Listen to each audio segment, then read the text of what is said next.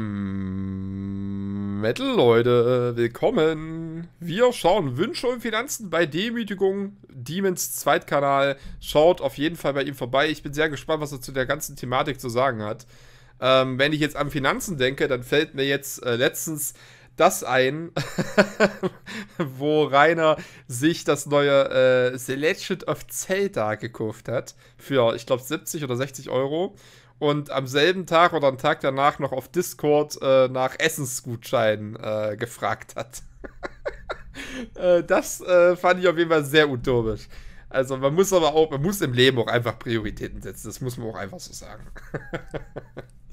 Na gut, Leute. Ansonsten äh, nochmal viel Liebe an den Orga, an Anrü, an Dodo und an Sebastian für die Level 5 Mitgliedschaft. Wir gehen rein. Let's go.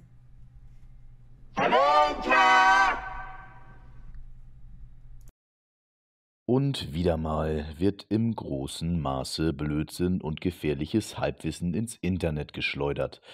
Von wem? Natürlich von unserem Lieblingsfranken mit den Leuchtaugen. Metal-Leute, Demon hier. Das Wetter wird ja langsam besser und das ist grundsätzlich etwas Schönes, insbesondere wenn man obdachlos ist. Rainer allerdings hatte etwas Besseres zu tun.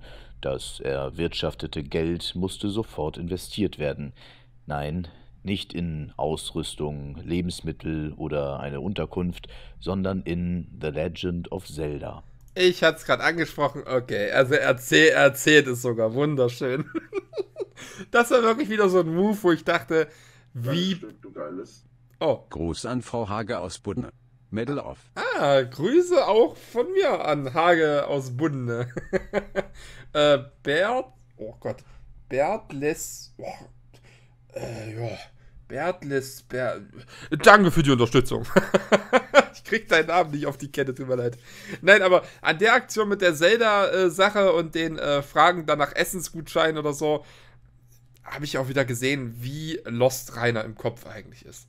Das ist wirklich so utopisch, wie Lost Rainer im Kopf eigentlich ist. Äh, wirklich, du kaufst dir ein Spiel für 60, 70 Euro. Ich weiß, ich weiß nicht, 60 oder 70, eins von beiden. Ähm, und hast dann kein Geld mehr für Essen oder Trinken, was ja, ja, weiß ich nicht, auch relativ wichtig zum Leben ist. und du entscheidest dich dann bewusst dafür, dir lieber das Spiel zu holen. Clever, sehr clever. Als eingefleischter Fan ist das natürlich eine Selbstverständlichkeit und man hat schließlich genug Geld. Ach so, hat man nicht? Nein, denn im Discord postete Rainer dann folgendes. Hat jemand einen Gutschein für Essen für mich XD? ah, es ist schön, dass es anspricht. Wunderbar, wirklich. Da habe ich mir auch so gedacht. Oh. K Carsten Prestini. Das ist doch mal ein Name, den ich aussprechen kann. Oh, sogar eine Wonge Level 5 Mitgliedschaft. Ganz viel Liebe an dich und dein Support. Ähm, was wollte ich jetzt sagen? Ähm, ja, ich hatte es ja schon gesagt, eigentlich einfach nur komplett dumm. Ne? Da wollte ich eigentlich ein eigenes Video zu machen, nur dadurch, dass ich halt durch meine Weisheitszahn-OP ein bisschen verhindert war, konnte ich das leider nicht, aber es war wirklich, also da dachte ich mir, wie blöd kann man sein? Ja, es ist nicht so leicht, das Vagabundenleben ständig diese Entscheidung zwischen Gaming und Essen. Wie dem auch sei, die diversen Streams mit hervorragendem Internetempfang gaben auch wieder einiges her. So war diesmal das Thema Fahrverbot ein großer Aufhänger. Dieses Thema gab wieder interessante Einblicke in Reiners Gedankengänge. Um diese ganze Sache einmal zusammenzufassen, Rainer behauptet, dass man mit einem Fahrverbot, welches er aber natürlich nicht hat, kein Fahrrad fahren darf. Grundsätzlich gilt, wenn aufgrund eines Fahrverbots die Fahrerlaubnis für ein bestimmtes Fahrzeug entzogen wurde, darf man auch kein Fahrzeug dieser Art im öffentlichen Verkehr führen ein Fahrverbot bezieht sich normalerweise auf motorisierte Fahrzeuge wie Autos, Motorräder oder teilweise sogar E-Bikes und Scooter. Da ein Fahrrad jedoch kein motorisiertes Fahrzeug ist, darf man es in der Regel auch während eines Fahrverbots weiterhin nutzen. Wisst ihr, warum ich Demon mag? Weil er diese Sachen so erklärt, wie er das erklärt. Er hätte auch einfach sagen können, die Aussage ist ja mal hageldumm, weil ein Fahrrad logischerweise kein motorisiertes Fahrzeug ist. Aber er hat das nochmal schön ausführlich erklärt. Das mag Jan Demon sehr, sehr gern. Kannst du deine Zähne nicht rein spenden? Nein, die spende ich lieber äh, Leuten, die sie brauchen. diese verdienen, sag mal so. Das Fahrrad fällt nicht unter die Fahrerlaubnisvorschriften und ist somit nicht von einem Fahrverbot betroffen. Rainer bringt hier mal wieder ein paar Dinge durcheinander. Er erwähnt nämlich auch, dass man im schlimmsten Fall seinen Führerschein abgeben muss, wenn man betrunken Fahrrad fährt. Das ist ganz grundsätzlich korrekt und passiert sogar häufiger, als man denkt. Rainer hat hier aber wieder zwei verschiedene Sachverhalte durcheinandergebracht. Äh, dies sieht man häufiger bei ihm. Sein, ich nenne es mal Fachwissen, bezieht er immer aus solchen Quellen. Meistens besteht sein Wissen aus Anekdoten von Rudi, also zum Beispiel Studenten sind alle faul und arbeitsscheu. Ja, oder aus irgendwelchen Dokus, die er mal so nebenbei beim Zocken gesehen hat. Und dann ist er im Discord oder im Stream und verbreitet sein Halbwissen. Ja, und wehe, du weißt es besser, ja. Dann wird aber Edzard der Hand, äh, Bannhammer, äh, der Bannhammer geschwungen. Das ist natürlich klar. Oder Anekdoten aus irgendeiner Dorfschenke, wie zum Beispiel sein Wissen und seine Einstellung über Politik. Dann schaut Rainer noch die ein oder andere Dokumentation und vermischt dann all diese Informationen. Ja. Wie gesagt, Rainer einfach Universalgelehrter. Ne? Wenn ich am Tag drei, vier Dokus gucke, ne, nebenbei ein bisschen zocke, ne, dann höre ich mal in der Kneipe noch ein bisschen zu, was da so abgeht, dann weiß ich eigentlich auch über alles Bescheid. Also da gibt es für mich eigentlich keinen Zweifel. Und dann kommt eben das raus, ja, was wir von ihm kennen. Es ist ja grundsätzlich nicht schlimm, wenn man absolut nichts weiß und in keiner Sache gut ist. Wenn man aber mit seinen Fehlinformationen hausieren geht, wird es kritisch. Glücklicherweise wird er von niemandem ernst genommen. Das gesamte Thema Führerschein, Fahrerlaubnis oder Fahrverbot ist aber sowieso irrelevant, denn Rainer wird nie wieder in seinem Leben legal Auto fahren. Das würde ich aber auch mal sagen, weil MPU schafft er eh niemals und ähm, ich glaube auch, mal abgesehen davon, selbst wenn er da alles geben würde, er würde gar nicht diesen, ja, diese Motivation entwickeln, wirklich sich mal da dran zu setzen und sich darum zu kümmern. Deswegen, da bin ich auf die Seite. Legal sehe ich Rainer auch nicht mehr in einem PKW. Aber muss ich auch sagen, Gott sei Dank, dass er mich nicht mehr mit 100 Sachen 80 mit seinem wirklich ähm, ja, ausgezeichneten Fahrverhalten äh, da über die Autobahn brettert. Das, oder irgendwie auf irgendeiner Wiese versucht, Hater zu, anzufahren und sein Auto als Waffe zu benutzen. Ja. Ist dann doch vielleicht besser, nicht wahr? Er selber sieht es noch anders, aber spätestens, wenn diese Tatsache auch bei ihm ankommt, kann man sich auf den nächsten Meltdown freuen. Kommen wir aber zum eigentlichen Thema Wünsche. Rainer streamte auch heute Mittag wieder über TikTok. Die beste Laune hatte er mal wieder nicht. Verständlich. Wichtige Themen in diesem Stream waren Wünsche, Zukunft und Finanzen. Rainer sagt am Anfang, dass er gerne häufiger streamen würde, das geht aber leider nicht, da er auf TikTok so gut wie kein Geld verdiene. Naja, aber momentan ist es ja nun mal seine einzige Einnahmequelle, also macht diese Aussage mal wieder keinen Sinn. Ja, das wollte ich auch gerade anbringen. Das macht halt wieder absolut gar keinen Sinn. Wie hat Rainer eigentlich den Führerschein damals bekommen? Marlon, ich habe keine Ahnung. Ich, ich, ich weiß auch nicht, ob man ihn aus Mitleid hat damals durchkommen lassen. Er hat ja erzählt, diese theoretische Prüfung äh, hat er irgendwie vorgelesen bekommen, äh, weil ihm das irgendwie so leichter fällt. Aber wie er durch die Praxis gekommen ist, kann ich mir auch nicht erklären. Vielleicht ist das so, so ein Dorfding. Äh, ja, das war Rodis Bua, den lassen wir mal durchkommen, so mehr oder weniger, keine Ahnung. Aber ich kann mir auch nicht vorstellen, wie das da vonstatten gegangen ist, dass Rainer damals wirklich seinen Lappen bekommen hat. Und der Grund für das seltene Stream ist seine Faulheit und jetzt eben Zelda. Ach nein, auf Odyssey verdient er ja auch noch ein paar Cent nebenbei. Eigentlich wollte er dann auch schon offline gehen, aber er merkte dann, dass er erst seit einer halben Stunde streamt. Allein daran sieht man mal wieder, dass es für ihn wirklich nur darum geht, die sogenannte Pflichtstunde zu erfüllen. Die mir willst du jetzt sagen, dass Rainer nicht gerne strämt? Also bitte, das kann doch gar nicht sein. Er ist halt wirklich utopisch, wie er nur das Minimalste an Arbeit reinsteckt und wie er wirklich am Tag dreimal den Stream neu startet, weil er merkt, oh, ich habe mal wieder kein Geld etc. Ey, wirklich, hör auf mit dem Internetzeug und such dir eine Arbeit, Rainer. Mein Gott. Er machte dann aber doch weiter. Ein Zuschauer stellt eine interessante Frage. Was wäre dein größter Wunsch, wenn die Umstände normal wären? Utopisch hin oder her. Rainer sagt, dass seine Wünsche überhaupt nicht utopisch sind. Er will sich nur eine Frau suchen, zwei, drei Kinder, vielleicht auch vier und einen vernünftigen Job, bei dem er sich auch mal was zurücklegen kann klingt für mich äh, schon sehr utopisch, zumindest für Reiners Verhältnisse. Ne? Viele von euch da draußen, äh, beziehungsweise generell normale Menschen, schaffen es natürlich, sich eine Frau oder einen Partner zu suchen, äh, mit dem man sich halt gut versteht, mit dem man gut klarkommt, äh, wo man sich gegenseitig ergänzt, wo man dann vielleicht auch mal eine Familie gründet, vielleicht nicht unbedingt mit vier, fünf Kindern, wie Rainer das gerne hätte. Gott bewahre, wenn der irgendwann Kinder hat. Mein Gott. Ähm, aber das ist für mich in reiner Situation, Situation schon sehr utopisch. Und auch diese Aussage mit dem Job, er hätte gerne einen gut bezahlten Job, wo er sich was zurücklegen kann. Rainer, du hast eine Sonderschule besucht, Rainer. Du hast keine Ausbildung, du hast keine richtige Arbeitserfahrung. Was glaubst du denn, was du verdienst, wenn du irgendwo anfängst? Ja, 12 Euro Mindestlohn vielleicht oder so. Aber mehr auch nicht. also, du gehst da nicht mit, weil sie nicht 2.000, 3.000 Euro nach Hause, Rainer. Er möchte einfach ein ganz normales Leben führen. Diesen Wunsch kaufe ich ihm sogar in gewisser Art und Weise ab. Es ist aber wie immer bei Rainer ein eher kindlicher Wunsch. Da ist irgendwo irgendwie ein Ziel.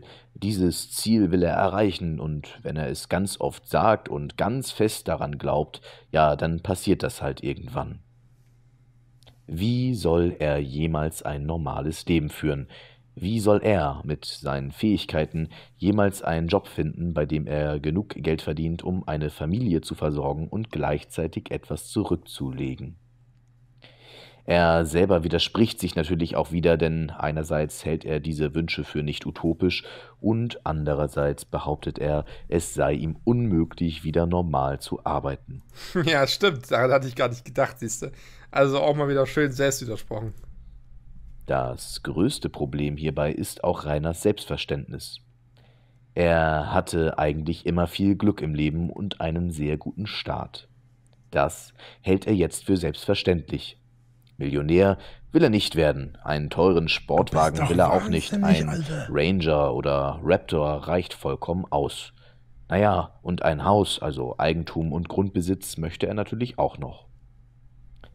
Wie unrealistisch das Ganze schon für einen, ich nenne es mal, normalen Sonderschüler, also für einen Menschen mit ähnlichen Voraussetzungen und Fähigkeiten, der sich jedoch nicht im Internet zum berühmtesten Anti-Influencer hochgearbeitet hat, ist, versteht er natürlich mal wieder nicht annähernd. Ja, einfach nur utopisch. Auch für viele normale Leute ist es heutzutage ja in weiter Ferne dieser Traum. Aber für Rainer, der mit 25 ein Haus geschenkt bekommen hat, der ein Erbe bekommen hat, äh, der dann nochmal äh, viel Geld für seinen Hausverkauf bekommen hat, der, mein Gott, der gebt ihm doch mal ein bisschen mehr noch, ja. Das, das steht ihm doch quasi zu. Rainer hatte eine Zeit lang tatsächlich ein hohes Einkommen. Als er am erfolgreichsten auf YouTube war, war ich Moderator bei ihm und konnte sehen, dass seine Aussagen mit 6.000 bis 8.000 Euro im Monat nicht gelogen waren. Überlegt euch das mal. Ein Sonderschüler, ja, das muss man ja wirklich sagen, ein Sonderschüler hätte, weiß ich nicht, was kriegst du als Sonderschüler? Keine Ahnung, 1200, vielleicht 1400 Euro mit einem, Mo mit einem Monat harte Arbeit, sage ich mal. Ja, wenn überhaupt. So, und Rainer hat es natürlich dann wirklich am Ende in der YouTube-Zeit geschafft, 6.000 bis 8.000 Euro monatlich zu verdienen. Ja, das ist schon sehr, sehr viel Asche. Und ich sag mal so, wie es ist. Es ist halt wieder einfach nur strunzdumm gewesen, dieses Geld nicht zurückzulegen oder anzulegen oder wenigstens einen Teil anzulegen. Für schlechte Zeiten, Rainer. Ja. Ich, als YouTube als, als Rainer sein YouTube gesperrt wurde, wurde Rainer besiegt. Ne, diese, diese ganzen kleinen weiß ich nicht, diese Sa Sachen mit TikTok und so weiter. Ja, das ist alles schön und gut, aber man sieht es ja, wie oft er streamen muss, wie oft er um Geld betteln muss, wie oft er seine IBAN irgendwo reinhält und sagt, Edzardler, bitte, oh, ich brauche Unterstützung, ich brauche doch nur 160 Euro bis Montag, bla bla bla. Daran merkt man, wie verzweifelt Rainer ist und wie schlecht sein Leben läuft. Und ich gönne ihm das zu 100%, weil er auch absolut selbst daran Schuld hat. So, jetzt wollen wir erstmal weiter, weil ich bin jetzt ein bisschen abgedriftet. Ach du Scheiße. Quinn. Danke fürs Abo und deinen unaussprechlichen Namen. Dass er dieses Geld trotzdem innerhalb eines Monats verballert hat, lassen wir mal so stehen. Darauf gehe ich gleich nochmal ein. Das ist auch so ein Ding. Egal ob Rainer wirklich 1000 Euro verdient oder, weiß ich nicht, 50.000 Euro im Monat. Jetzt übertrieben gesagt. Es ist vollkommen egal. Entweder er lebt halt ja, sehr sparsam mit wenig Geld oder er hat diese 50.000 im Monat und verschleudert die halt auch für, weiß ich nicht, irgendwelchen Technikkram oder für irgendwelche Spiele oder irgendwelche, weiß ich nicht, Handygame, Ingame-Währung oder so. Ja, deswegen, es ist vollkommen egal, wie viel Rainer verdient. Am Ende des Monats ist der Kontostand auf Null und das ist das ganz große Problem bei ihm, was er einfach nicht erkennt. Viel wichtiger ist, dass es durch diese Zeit für Rainer normal geworden ist, über so viel Geld zu verfügen. Er hält diese Summen also für standesgemäß und vollkommen realistisch. Um diese Summen im normalen Leben zu verdienen, braucht man entweder eine sehr gute Ausbildung, Studium oder sehr viel Glück. Nochmal, auf normalen Wege hätte Rainer niemals so viel Geld verdient. Nicht mal annähernd so viel Geld. Vielleicht hat er auch noch einen Funken an Hoffnung, dass er durch seinen Kram im Internet irgendwann mal wieder so viel verdienen wird. Aber spätestens seit dem Bann auf YouTube ist es vollkommen unrealistisch. Alle Plattformen, auf denen er wirklich gutes Geld verdienen könnte, wollen ihn nicht haben. Ihm bleibt also nur noch das Betteln auf TikTok. Äh, dünnes Eiskumpel, komme aus der Förderschule, habe eine Ausbildung zum exterminierten, exter, exterminierten, ich, ich lass mal exterminiert stehen, Altenpfleger gemacht und will nicht mit rein in eine Schublade gesteckt werden. Äh, nein, und das hast du vollkommen falsch verstanden. Ich stecke eben nicht äh, alle Leute aus der Sonderschule äh, in eine, oder aus der Förderschule in eine Schublade. Das ist eben das Ding. Rainer ist ja nochmal so eine Sache für sich. Rainer müsste eigentlich doch zu irgendeiner Schule unter der Förderschule, weil Rainer wirklich ein sehr besonderer Mensch ist. Und ich sage auf gar keinen Fall, dass äh, Leute, die in der Förder- oder Sonderschule waren, äh, es zu nichts bringen können. Denn wenn du Fleiß an den Tag legst, kannst du deine Sonderschule abschließen. Du kannst dein Realschul-, deinen Hauptschulabschluss, was auch immer, nachholen. Du kannst dir eine Ausbildung suchen. Du kannst da äh, die Ausbildung gut abschließen. Du kannst einen festen Job haben, kannst dich da gut anstellen, kannst dich hocharbeiten. Deswegen, ich will gar nicht sagen, dass man mit Fleiß nichts äh, bewirken kann. Auch wenn man aus der Sonderschule oder der Förderschule, was auch immer kommt. Aber ein Reiner, der kann es eben nicht, weil ihm genau dieser Fleiß eben fehlt. Also auch auf diesem Wege wird das nichts mehr. Keine, keine normale Frau wird etwas mit ihm anfangen, geschweige denn Kinder mit ihm zeugen. Es stimmt zwar, Rainer könnte an seiner Situation etwas ändern. Er könnte sich komplett zurückziehen und ich gehe realistisch davon aus, dass er nach drei Jahren ja vielleicht seine Ruhe hätte, der ganze Spuk wäre vorbei. Das ändert aber nichts daran, dass er immer mal wieder erkannt werden würde. Und wer möchte schon irgendwann darauf angesprochen werden, ob denn der Ehemann oder Vater nicht derjenige von damals ist? denn die ganzen Skandale und Taten sind und bleiben im Internet. Das ist es nämlich. Das Internet vergisst nicht. Und auch wenn Rainer Winkler wirklich mal ja, von der Bildfläche weg sein sollte, dann kann man halt mit dem einzigen, mit einem bestimmten Fingelwummel oder auch äh, anderen äh, ja, Videos und Kanälen im Internet, nicht nur auf YouTube, sondern auf vielen anderen Seiten, Videos über Rainer Winkler schauen. Und auch wenn diese Videos irgendwann viele Jahre alt sein werden, dann wird man trotzdem sehen, was Rainer für ein Mensch war. Und wenn man diesen Mensch dann, weiß ich nicht, trotzdem nochmal auf der Straße antrifft, dann, ja, mag man diesen Menschen trotzdem immer noch nicht so gern, ne? Wisst ihr, ich meine, das Internet vergisst einfach nicht. Natürlich würde der Hate viel abflachen, aber ich bin der Meinung, auch nach Jahren, wenn Rainer aus dem Internet wäre, auch nach Jahren würde es immer noch vereinzelt immer irgendwelche Leute noch geben, die Rainer erkennen und äh, ja, deswegen ihm nicht so wohlgesonnen sind. Zum anderen würde dieser Rückzug auch nichts an Rainers Einstellung oder Charakter ändern.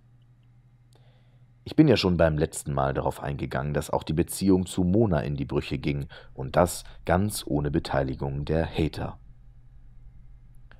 Allein die Vorstellung, dass Rainer irgendwann für andere Menschen verantwortlich wäre, ist nicht nur utopisch, sondern regelrecht angsteinflößend. Das stimmt. Ich hatte es ja schon. Stellt euch vor, der hat wirklich mal ein Kind. Also, natürlich, Jugendamt wird eingeschaltet, bla bla bla, aber überlegt euch mal diese, diese Utopie, wenn er wirklich für ein Kind zuständig wäre. Oder generell für andere Menschen. Er kommt ja noch nicht mal mit seinem eigenen Leben richtig zurecht. Er kann sich ja nicht mal um sich selbst kümmern, und ohne die Hilfe von Dritten wäre er schon längst im wahrsten Sinne des Wortes besiegt. Ich war kurz davor, die Internationale anzustimmen, als Rainer dann noch sagte, er sei ein Teil der Arbeiterklasse. Wer kennt sie nicht? Die Arbeiterklasse, die seit zehn Jahren nicht arbeitet. Wie gesagt, für Rainer ist das nicht utopisch, aber für mich war es in meiner Kindheit auch nicht utopisch, Astronaut oder Fußballprofi zu werden. Ja, genau. Nur ist Rainer halt kein Kind mehr, sondern ein äh, 33-jähriger Mann oder so. Das muss man halt auch im Hinterkopf behalten. Und zu der Arbeiterklasse. Ich sag mal so, ich hatte es schon öf oft, öfter gesagt, YouTube kann eine Arbeit sein, definitiv. Und ich möchte mich da jetzt nicht als Beispiel nehmen, das hatte ich schon mal gesagt. Äh, nicht ich, äh, der blöde Wingelwogge, der mal auf ein paar Videos reagiert, mal äh, rumlacht, äh, das ins Internet rotzt und fertig. Sondern es gibt viele YouTuber, die machen das hauptberuflich, die machen das, ja, die stecken da richtig viel Arbeit rein. Und äh, das ist natürlich dann auch eine richtige Arbeit mit Arbeitsstress. Da zähle ich aber rein auf gar keinen Fall dazu. Deswegen nur weil Rainer YouTuber ist, heißt ja nicht, dass er nicht arbeiten muss, aber ja, so wie Rainer YouTube macht, oder jetzt nicht mehr YouTube, sondern TikTok, äh, ja, kann man das nicht wirklich als Arbeit bezeichnen. Höchstens als Fanmanagement. Nur war ich damals sieben und Rainer ist 33. Kommen wir nun nochmal zum Thema Finanzen. Ein Zuschauer fragte zu Recht, warum Rainer The Legend of Zelda kauft und dann auf dem Discord nach einem Essensgutschein bettelt. Gute Frage. Naja, aber Rainer hatte natürlich auch die passende Ausrede parat. Er hat sich das Spiel ja schon vor Monaten bestellt. Der Zuschauer merkt dann aber an, dass seine Situation auch schon vor Monaten kritisch war.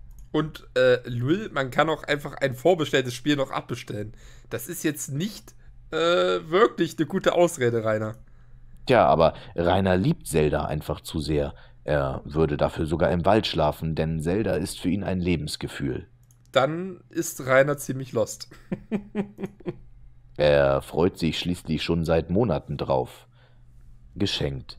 Der Zuschauer lässt aber nicht locker und merkt an, dass er in seiner aktuellen finanziellen Situation nicht unbedingt bei Subway frühstücken muss.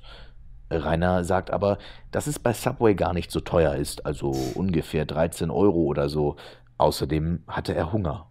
Junge, wenn du ein Obdachloser bist, der nicht viel Geld hat, dann gehst du zu, weiß ich nicht, zu Netto, zu Norma oder zu irgendwo hin, holst dir ein paar billige Brötchen, vielleicht ein bisschen Wurst oder irgendeinen Aufstrich und isst das so und gehst dich zu Subway für 13, 14 Euro frühstücken.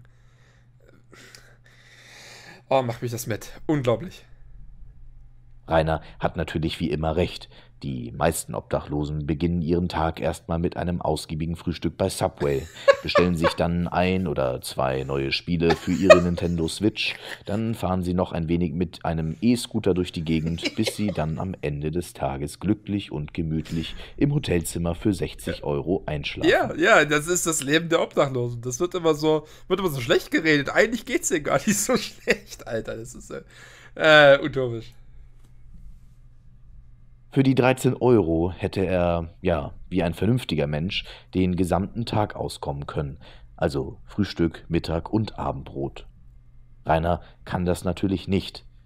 Kurz vor dem Bann sagt der Zuschauer dann noch, dass Rainer trotzdem nicht mit Geld umgehen kann, und das kann ich zu 100 Prozent unterschreiben. Ich hatte ja am Anfang des Videos erwähnt, dass Rainer durchaus Zeiten hatte, in denen er knapp 8000 Euro im Monat verdient hatte. Dann gab es auch vor ein paar Jahren Monate, in denen er nur ein paar hundert Euro verdient hat. Es machte jedoch nie einen Unterschied. Am Ende des Monats war alles weg. Genau, das hatte ich vorhin angesprochen. Und warum? Weil Rainer eine Geldverbrennungsmaschine ist. Rainer sieht diese Summe auf seinem Konto und überlegt nicht, oh, na gut, das ist nicht so viel, mein Gott, ähm, da muss ich jetzt diesen Monat sparsam sein oder sieht, oh, das ist aber viel, naja, da lege ich was zur Seite, sondern die Summe ist eigentlich relativ egal. Die hat eigentlich nur eine Auswirkung darauf, was er wo ist, was er wie macht, aber nicht, wie viel er ausgibt, denn Fakt ist, am Ende des Monats steht da natürlich eine Null. Rainer wirft sein Geld immer zum Fenster raus in schlechten Monaten für Schwippschwapp und Ofenkäse und in guten Monaten eben für eine VR-Brille oder anderen Elektroschrott. Er hat schließlich auch sein gesamtes Erbe innerhalb eines Jahres verlebt. Ein Großteil seines Geldes ging auch häufig für Ingame-Währungen raus. Auf dieses Thema werde ich nochmal gesondert mit dem guten Cookie sprechen. In ein paar Tagen reden wir nämlich nochmal über Reiners inneren Kreis, also wie er mit Menschen umgeht und was er von Unterstützern erwartet. Das Wochenende wird auf jeden Fall spannend bleiben, denn Vögel zwitschern schon, dass er mal wieder das Hotel verlassen muss. Ja, das äh, kann gut sein. es kann also durchaus sein, dass entweder heute oder morgen von Rainer ein Stream und von mir ein Update kommt. Ach, und was ist jetzt eigentlich mit dem Boxkampf? Naja, eigentlich war das ja klar. Ich wünsche allen Zuschauern auf jeden Fall ein schönes Wochenende. Genießt das Wetter mit Freunden, Familie, Partnerin oder Partner und fahrt nach einem schönen Frühlingstag mit eurem Auto nach Hause, dort, wo es gemütlich ist. Ja, und noch eine Kleinigkeit zum Thema Finanzen. Jetzt, wo es langsam wärmer wird, könnte Rainer zum Beispiel tatsächlich im Freien schlafen. Überlegt euch das mal, er würde wirklich rela äh, relativ, ja, ich sag mal, regelmäßig im Freien schlafen. Niemals, niemals, glaube ich nicht. Also, man kann ja gerne sein Waldquartier mal im Auge behalten, aber ich glaube das nicht. Der wird immer in irgendwelchen Hotels oder zur Not in irgendwelchen Sparkassen unterkommen. Das glaube ich alles nicht. Aber wie Demon schon sagt, auf jeden Fall euch, äh, ne? Denkt aber dran, euch geht's viel, viel besser als Rainer. Ihr habt eine geregelte Arbeit, ihr habt ein geregeltes Leben, wahrscheinlich einen Partner, Freude im Leben, ein warmes Zuhause, ein warmes Bett. Das äh, sollte man auf jeden Fall schon wertschätzen. Und wenn es euch mal schlecht geht, dann denkt einfach daran, Rainer geht's immer schlechter.